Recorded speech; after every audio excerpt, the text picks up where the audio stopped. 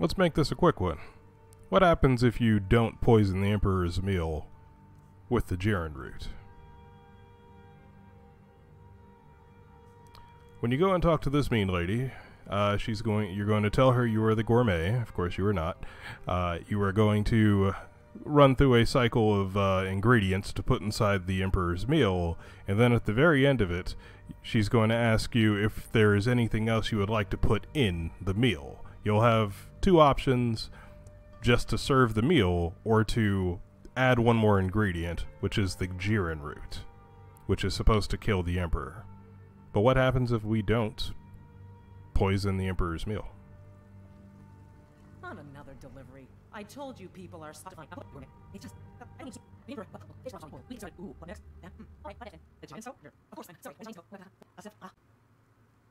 I have to say, the stew seems done. Add anything else and we may dilute the distinct flavors. So, uh, is that it? As you can see here, we have two more options. We can serve the meal as it is. We're done. Let us serve the whatever the fuck this thing is called. And then the option you're supposed to choose is actually there's one final ingredient. Add this, and it's give the Jarrin root, which is supposed to be the thing that actually kills the Emperor once he takes a bite of his food upstairs. But there's an option not to do that. So what happens if you don't poison the Emperor's meal? Excellent. They should be ready for us now. And if I may say so, it has been an honor getting a chance to prepare a meal with, well, the best chef in the entire empire. Yes, an unfortunate turn of events that, but an isolated incident. And I have been assured that the fault was with the man's son alone. Truth is, we are. You can see we just got the objective to kill the Emperor, which is what's supposed to happen as soon as he takes a bite of his poisoned food, unless you did not poison his food. No danger whatsoever. Killing an emperor can be useful, but befriending one, now that's beneficial, as I'm sure you'd all agree. Aha! Here we are, honored guests. I present to you the gourmet. Ah, the potage le magnifique. So delicious. My friends, as emperor, I of course reserve the right of first taste. Oh. Oh, how marvelous. Just delicious. It And just then is where he was supposed to drop dead. What happens if you didn't poison his food? everything I had hoped it would be. Please, everyone, enjoy. Everyone begins eating.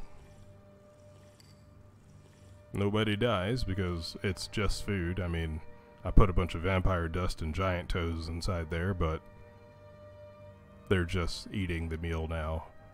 Enjoying their meal peacefully with no death at all. If you run around here, the door is locked. You cannot go through. You can wait an hour. You can wait 24 hours. Nothing will happen. They will just continue sitting here and eating their food and slurping. The gourmet. The only way to proceed with the quest now is to kill the gourmet. I mean, kill the emperor. This is such an honor. You're damn right it's an honor. One second. Bruce, By the gods, the gourmet has killed the emperor. No more. I yield. Victory fulfilled.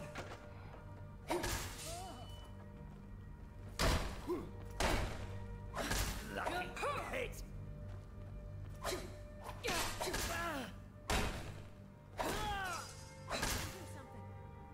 And just like that, the emperor is dead.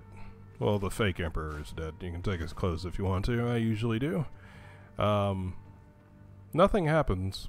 There is no change. You now just have the objective to escape the tower, which if you go through here, you will proceed the same way that same thing that usually happens. You go outside, you get ambushed by the general. He tells you that Astrid betrayed you and he's betraying her in return and burning down the sanctuary as we speak. We rush to the Emperor's defense, sorry, the sanctuary's defense, and uh, that's it. Absolutely nothing happens if you choose not to poison the Emperor's meal.